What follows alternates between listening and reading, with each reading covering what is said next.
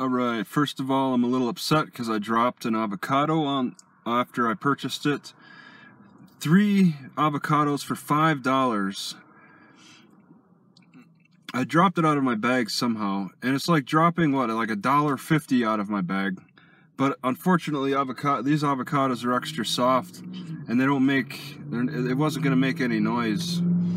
I need to be more careful of that. So I've never dropped an avocado before especially one that I really covet. Uh, maybe I shouldn't be coveting things so much.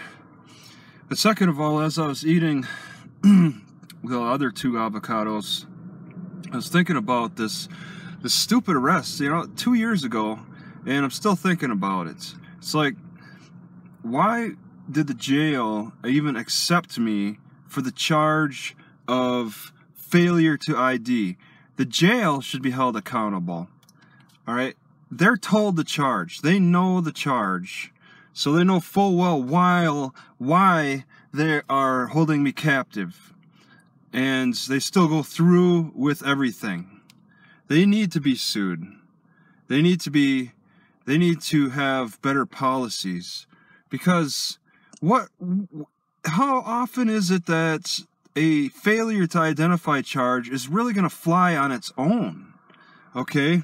You just you just have to work entirely on threats to get that charge to stick. A person would have to be so scared of the law that they just give in to whatever charge is is presented against them. But any mild mild challenge to this is is going to make it crumble under its uh, foundation.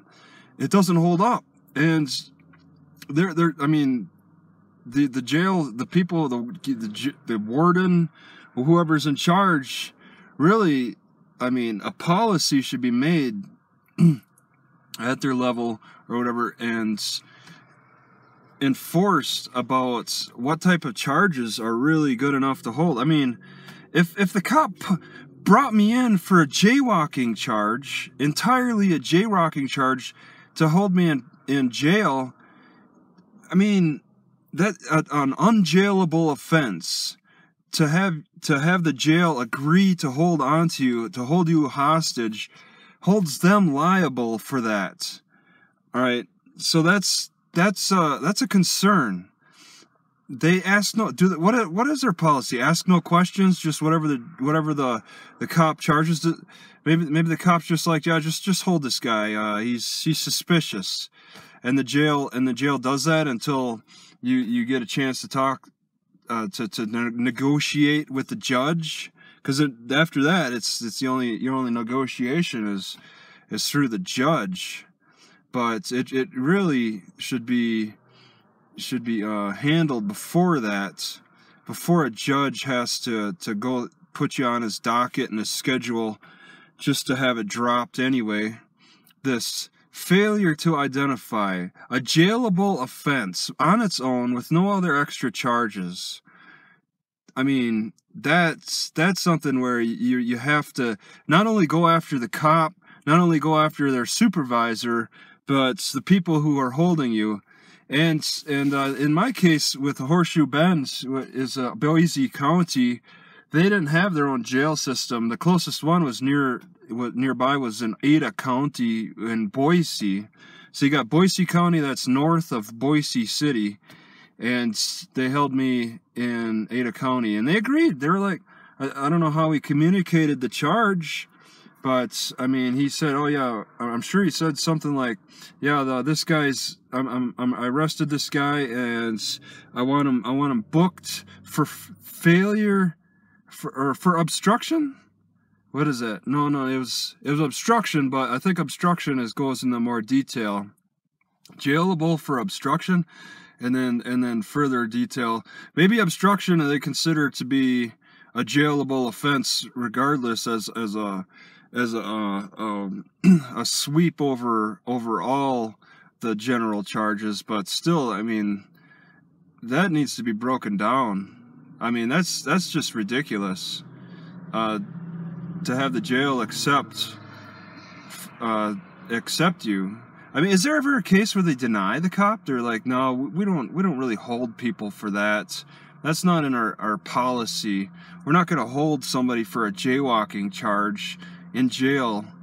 Uh, that's that's not a jailable offense. I, I mean, is there anything that the jail will just say, hey, you know, we don't we don't jail for that? Cops make mistakes. I mean, a parking tickets. We don't we don't we don't jail people for parking tickets. If the cop tried to put you in, in handcuffs and, and whatnot, we don't we don't jail. Do, maybe they jail people for attitude if there is some kind of some kind of uh an issue, but that has to be a charge. You have to disorderly conduct. Yeah, okay, we'll jail you for disorderly conduct. That has to be an actual charge that the cop presses against you. Um, not, not, uh, yeah, uh, he was obstructing, didn't, didn't uh, give me his ID fast enough, and he was being a little disorderly, but I'm gonna let that disorderly drop. Still jail him for, you know, whatever.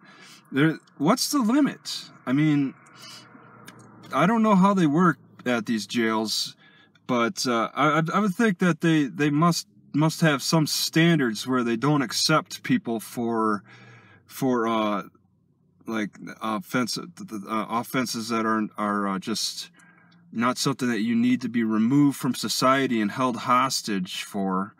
All right, domestic. There's yeah, there's real ones. We the person's a threat to society. Okay, but obstruction, failure to identify in time, that's and then, and then jails actually agree to having you having you sit well and, and wait over the weekends for the judge. That's that's that's just uh, that's an excess. That's that's either a slip in the system or they have it purposely set up like that and that's completely unfair how that works that cop should be sitting in jail with me all right i step outside my car and here it is it fell out right before I got in the car somehow. Maybe when I was shuffling to get my keys.